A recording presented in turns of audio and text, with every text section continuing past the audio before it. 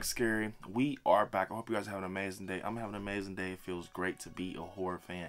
So, you guys, we're going to talk about some Scream 6 uh, speculation and updates. Um, but before we get started, definitely smash the like button because it definitely helps.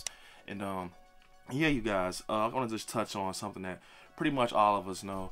Um, but out in the horror community, has been leaks with Scream 6 and um, you know with killers being revealed like a whole piece of footage out there with the killer being revealed um happily i have not been spoiled i want to keep it that way but i won't be you know kind of engaging in comments until the film comes out because a lot of people i'm seeing are getting spoiled and it's kind of unfortunate because you know we all are looking forward to this movie to find out the reveal the plot the storyline and what's going to take place and um, I just think it's very shitty that people are out there doing that, man. It just it's no fun, man. Why why like spoilers? You know what I'm saying? I just don't get that. I never got people that enjoy spoilers. It's just I just really don't get stuff like that. Personally, I like being surprised. That's just me.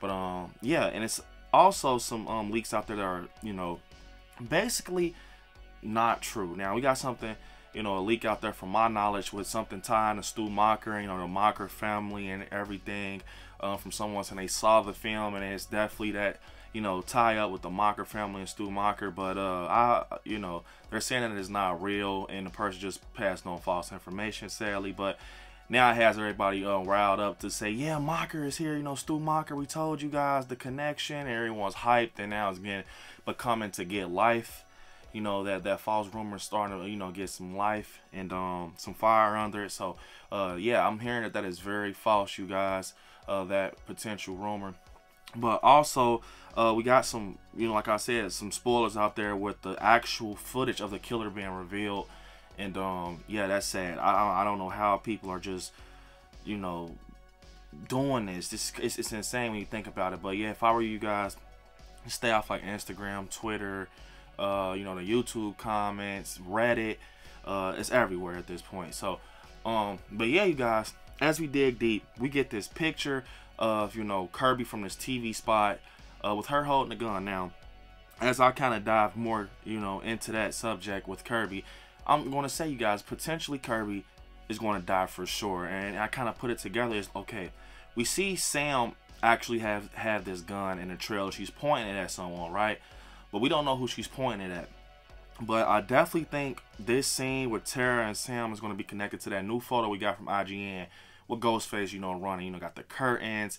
And it, what kind of made me think about that is that projection you see behind Ghostface because you also see a projection uh, by Sam. So I'm like, that's definitely the area. Now, I don't know if it's before or after, but we also see a shot of Sam getting chased down this hall, right? And you see Ghostface behind her. So, and to me, that's like definitely an all connected in that same scene. And that's probably the final act, in my opinion. It's probably the final act. But, um, so I just feel like, you know, okay, if that's Kirby's gun, we see a poster with Kirby having that gun on her hip, right? Now, I touched on this in, um, you know, past video saying that basically either Sam or Kirby's the killer due to that gun being the connection with both characters.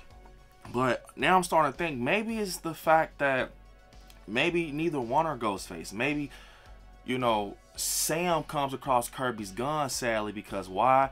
Kirby actually does not make it. She dies. You see she has this bruise on her head. She's holding this gun and it looks like she, you know, she's panicking. She's terrified. She has fear in her and she's looking very scared. And it's definitely in a shrine because if you look next to her, uh, the shrine is right there uh, under her. You can see it clear. But um, I'm thinking you guys, Kirby is out, man. Kirby's out. So I know a lot of people wanted to see her push forward and make it. But uh, I'm going to just tell you guys the truth, man. I think Kirby's out. Uh, you can see it all on her face. Potentially a few moments after that, she's going to be out. Uh, she looks scared, possibly shooting at Ghostface. I won't even be surprised if it's one of those scenes where, you know, the lights are kind of dark. You can see in the picture, and Ghostface is like running, and she's trying to shoot. Maybe she's shooting, busting glass, and you can hear Ghostface running. He runs up to her, he stabs her, almost similar to the Dewey death. Uh, if Kirby, you know, when she dies, I just kind of wanted to be like her getting her flowers. Uh, she's not, you know, big like, you know, Sidney, but she's a big character in Scream No Hated Penitentiary. But I definitely think it should be like not a rush death, but I definitely think right here in this scene she's going to die, guys. And right after this, potentially, I'm going to say that Sam's going to obtain the gun. Sam's going to obtain the gun because this is definitely the final act. You can tell they're all beat. If you look at um Sam's arm, she has a stab, like a slice on her arm. Kirby has a bruise on her head. I know people out there saying that possibly uh, Sam hits her with the brick in her head type of thing. But I'm guaranteeing that Kirby's gonna probably die right here in this scene. And Sam's gonna obtain her gun, and that's how Sam's gonna get that gun in that scene because Kirby's dead, guys.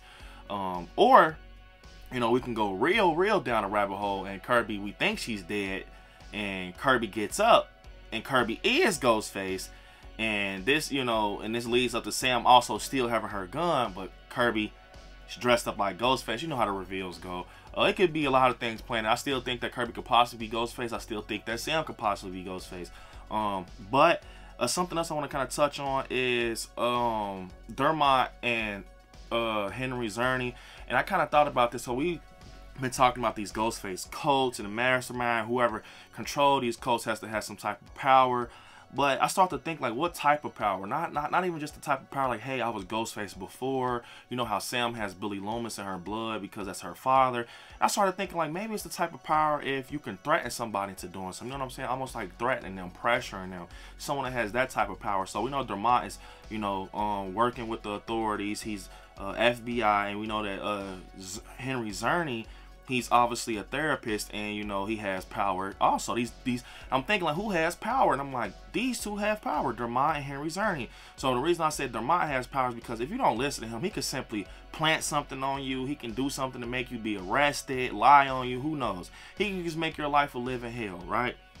And henry czerny can have power because he's a therapist. People don't unloaded dark secrets to him told them you know their life and what they're going through. And he can use that you know, those secrets against that person for them to do things for him. You know, and I can see Henry Czerny actually recruiting people for this Ghostface cult we've been talking about through, you know, him being a um, you know, a therapist, a doctor, whatever you want to call it. He can just be gathering maybe Jack Champions, one of his patients, maybe um Liana Liberato, the Queen character, is one of his patients, or Anika, and he's just like recruiting them, you know, Tony Revolori. And and maybe he kind of talks to them and kind of threatens them like if you don't do this and you know be a part of this cult i will use this against you. You know i'll air out secrets i'll air out things. So i think that's why it could potentially be that who knows i mean maybe henry czerny and um Dermot has some type of history maybe someone's connected to them that bring them together maybe you know we, we don't know they can be related in some type of way shape or form